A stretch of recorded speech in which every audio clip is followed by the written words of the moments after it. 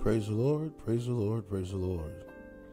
Good morning again, good morning, good morning.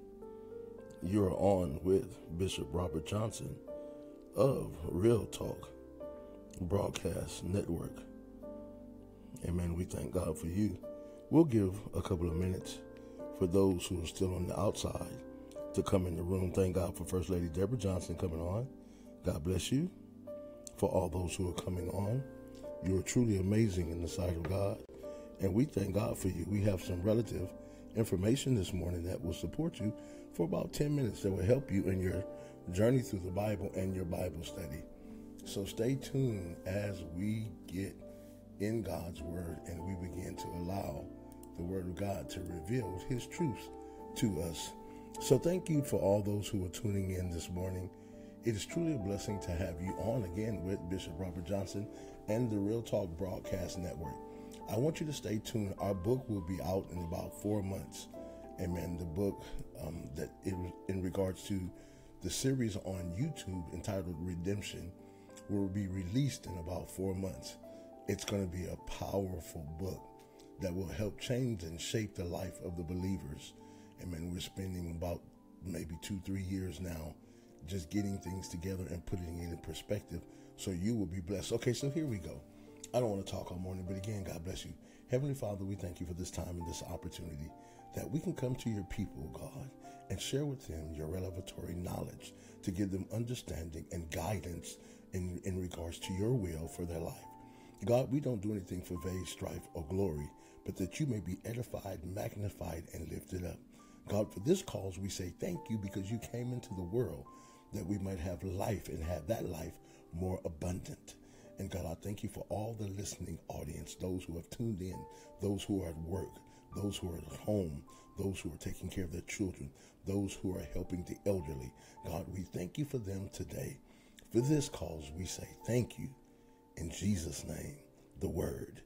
God bless you.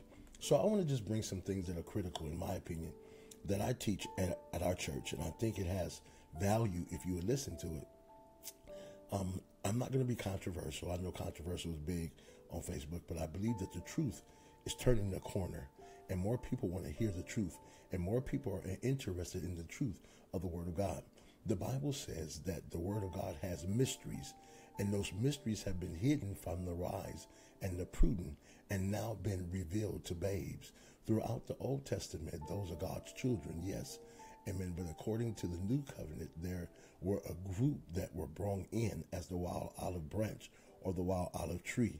That is us. So, what I want to do this morning is share value with you when you study the Word of God because there's so many individuals today who are putting the perspective of God's word in the first person and it's causing a lot of people to judge themselves based on Judaism and things that happen in the law when we're no longer bound by the law.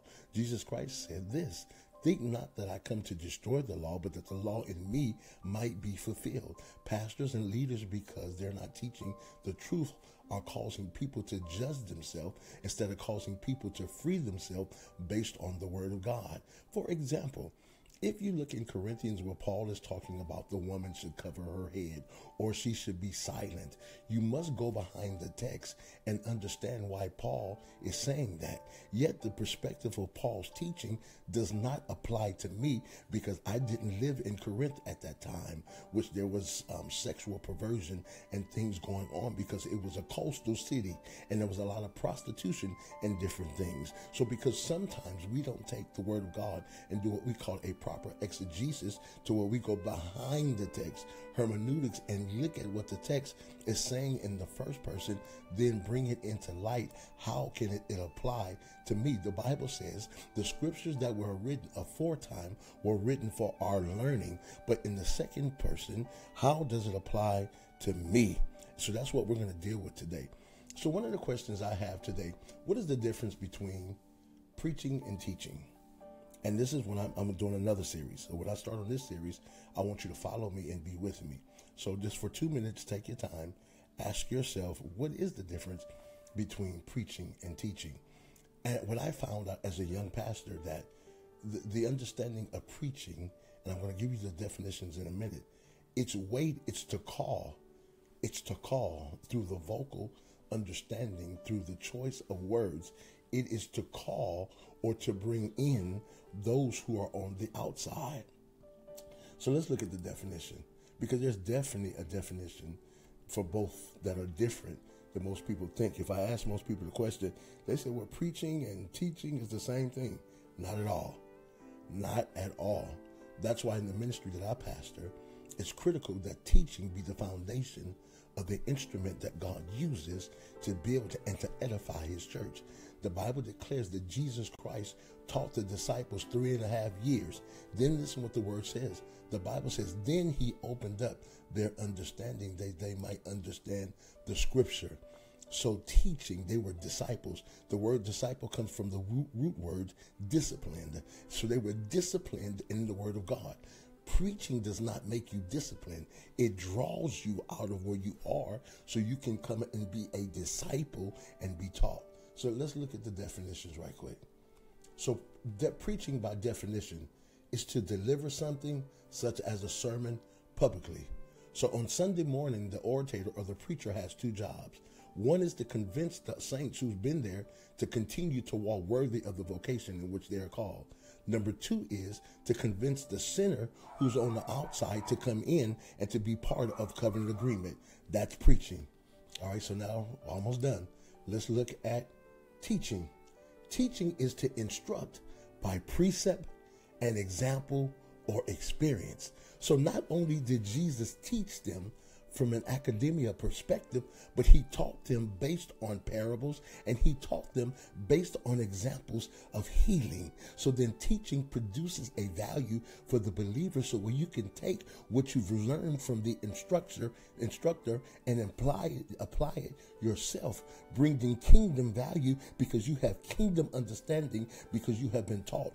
Anytime you see a church where there's struggle, where there's where there's issues, and the church is just upside down, it's only because there's no true teaching of the word of God. So when you don't make disciples, Jesus tells us in Matthew 28, 19 to go make disciples. He didn't say go make church members, pew members who can shout, who can speak in tongues. He said go make disciples because the call of preaching is to draw. Teaching is to keep what you've drawn.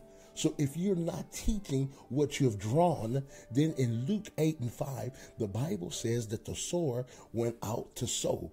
And it says some fell on stony ground, some fell on weary ground, some fell on thorny ground.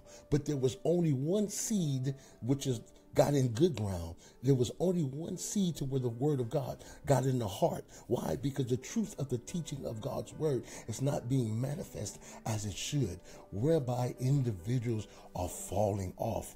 So the Bible says that the, the bird it came and it took it away, or it said that it fell among thorns and the thorns choked it out. So by the time you leave service from the homily perspective of teaching, individuals, 90% of them are lost. Why? Because teaching, preaching deals with the emotions. Teaching deals with staying where you are when you became emotionally involved. I'm almost done. Stay with me. Okay, here we go to the next slide. Stay with me. First Corinthians um, chapter 3, verses 6 and 7 are critical. Watch this. So neither is he that planteth anything, neither is he that waters anything, but it is God that gives the increase. And oftentimes we've heard this particular text. And the Bible says that one plants, one waters, but God gives the increase. Let me give this to you in, in an example or way that you can understand. As we just said, and we gave you definition, the planter is the preacher.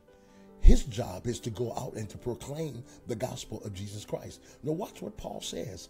Paul says, I am in Romans, I am not ashamed of the gospel of Jesus Christ, for it is the power of God unto salvation. So then, what Paul is actually doing, Paul is teaching the word of God. And in teaching the word of God, what Paul is doing, he is drawing his audience towards God. Now, Paul said, Because I have taught you and I have given you the word. Now he says, Now Apollos or Apollos will water you. So then, when you come into covenant agreement based on what you heard from the call, which drew you to God, now you need to be sit and taught. Mm. So then he says, Apollos will teach you. So then the Bible said, faith come by hearing, and hearing by the word of God. Child of God, you cannot be kept just through preaching because preaching is the invitation. Teaching is what draws you once you accept the baptism of the Holy Ghost through the invitation. Now, what teaching does, teaching gives you the understanding of what God can do and what God won't do, what God will accept and what God won't accept. Then once you're taught, now you are to go out out and make disciples, whereby the Bible says God will give the increase. So then faith come by hearing and hearing by the word of God. So you cannot be increased in God just by preaching. Preaching is the invitation. Once you accept the invitation to the wedding, now you need to learn what the marriage is going to be about. That's why the Bible says that Martha and Mary both desired something from God, but one wanted the spiritual thing, and the other one was more concerned about other things. There are people who've been preached to and they come to church, yet there's no foundational understanding for them being taught and sit, sitting, whereby they become a, a, a, a there becomes confusion and becomes chaos because those individuals are not rooted in the Word of God. That's why the Bible says in the first division, in the first book of Psalms, blessed is the man who walketh not in the counsel of the ungodly, nor standeth in the way of sinners, nor sit in the seat of the scornful. But he, watch this. His delight is in the law of the Lord. In other words, he desires to be taught. That's why Isaiah 34, 16 tells us to seek ye out of the book of the Lord and read. None shall fail, none shall lack her mate, for my mouth hath gathered, and my, my mouth had commanded, and my spirit hath gathered. Then Paul picks up the understanding of that same Old Testament scripture in, in second 2 Timothy 2.15. Study to show thyself approved unto God. A workman, watch this. Once you're called through the invitation of preaching, now when you become a student, after you become a student,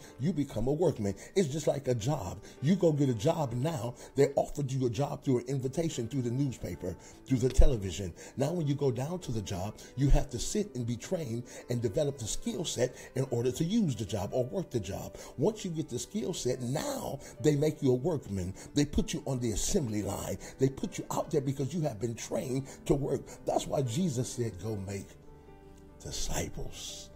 I pray that this has blessed you today.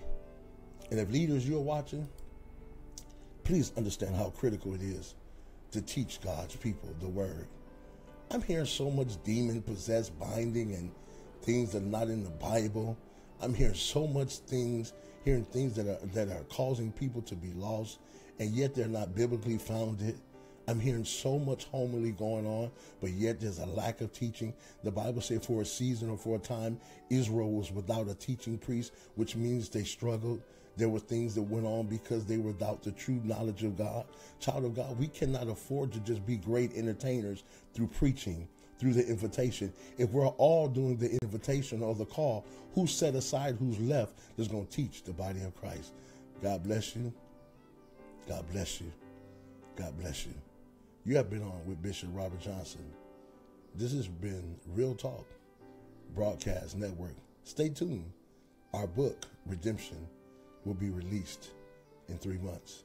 But you can go on YouTube to the same name, Real Talk Broadcast Network. Look us up and subscribe. We have 15, 14 videos, 15 videos right now online on the Redemption series that will be in the book. But you need to go see what it's talking about because it involves you. God bless you. In Jesus' name.